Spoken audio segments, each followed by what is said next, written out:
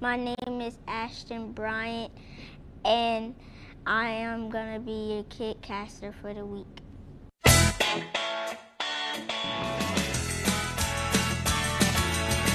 So Ashton is glad. I'm glad that you're here. Uh, why did you want to be a kid caster? Because I wonder about the weather and I want to say things about it. you like weather, right? That's awesome. What else do you like to do for fun? I like to play with Legos and play with puzzles. Puzzles, yeah, puzzles are really fun. What do you want to be when you grow up? Have you thought about that yet? I want to be a chef. A chef. Or and doctor. A chef or a doctor? We have a lot of choices, right? Mm-hmm.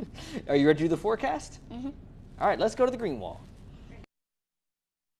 Morning is going to be 80 degrees warm. And then in the noon, it's going to be 92 degrees. And then hot storms. And then in the evening, it is going to be 82 degrees and and it's going to be warm. You're doing a great job, Ashton. Go ahead, read off the forecast Saturday through Tuesday. And then Saturday it's going to be warm and is stormy. Uh huh. Sunday. And then Sunday it's gonna be warm and stormy. Okay. Monday. And then Monday it's gonna be hot and stormy. Tuesday. And then Tuesday it's gonna be hot and stormy.